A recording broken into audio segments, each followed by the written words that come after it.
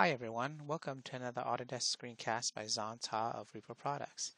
Our screencast today will focus in on how to work with parallel pipes and parallel conduits commands within Revit 2017. If you like this video and would like to see more, please search for Dzan Ta or VAR2016. Thanks for watching. Here I am in Autodesk Revit 2017. I'm in a default 3D view in a Systems Family Default Template file uh, project file.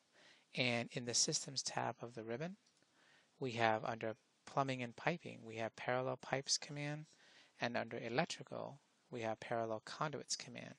These two commands are very similar in how they are designed. If I start with the Parallel Pipes command, it goes into a contextual tab called Modify Place Parallel Pipes, and you'll get the Parallel Pipes panel in here, you can specify how many horizontal objects you want and how many vertical objects that you want and the spacing in between.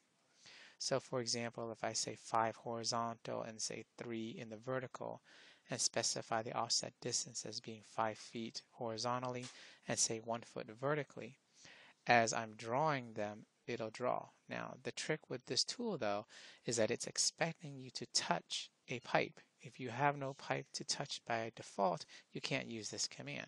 So we're going to head back out of the command and start with the pipe command. And go ahead and just draw some basic pipe, say for example here. Now, when you're finished, if you need to, you can switch to a fine level of detail and you can see the pipe that you have. Let's go ahead and shade it up and let's make it a little bigger so it's easier to work with and easier to see what's happening.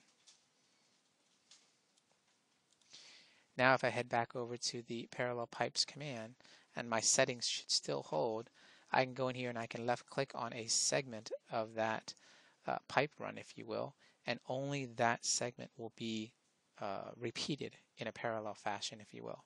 However, if you select the uh, tab key on your keyboard once, it will highlight as many as that it can find that are joined together. You'll notice you'll have sketch lines to let you know what the end result is going to be. So if I left click now, is going to build those set of parallel pipes. This is good for if you have to do parallel conduits and things like that. Um, so that's the under the Systems tab, Plumbing and Piping panel, Parallel Pipes command. In the same vein, you have parallel conduits. So again, you need to have conduits drawn by default. Now, with the parallel pipe command and the parallel conduit command, it's looking at that original conduit or that original pipe and looking at the size of it. So it's going to repeat that particular size. So the, you want to make sure that what you're working with initially is the correct size that you want and the offset and things like that. So I'll go in and I'll draw some um, I'll draw some conduit here real fast just so you get an idea of what you're working with. Um, and you'll also notice as well that sometimes you'll draw and you'll get a circle with a diagonal across it. And that's just to let you know that you're trying to draw it at too great of an angle because your settings uh, within the software are not correct. So you just have to make sure you're drawing it at, at an angle that it can read and work with in regards to the fittings and the accessories. So here I have some conduit and then now I can go ahead and use a parallel conduit command. And again, it works the same way as the parallel pipes command in regards to how many horizontals that you want and how many verticals you want and what is the spacing in between. But in this particular parallel conduits contextual panel, you have an additional feature. You have same bend radius and you have concentric bend radius. So the same bend radius obviously is the radius for each one has, is the same, whereas concentric is that the radius will adjust as it's growing out. So for example, again, I'll go in here and I'll use the tab key and I'll left click once. Uh, I'll, I'll put my mouse over the object, tab once.